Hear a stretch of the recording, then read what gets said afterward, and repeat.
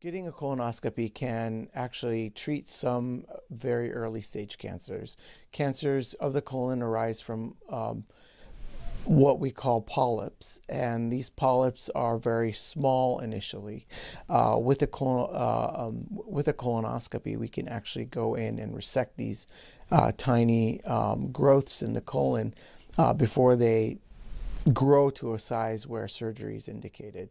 Um, and in that situation, some patients can actually be cured of their colon cancer.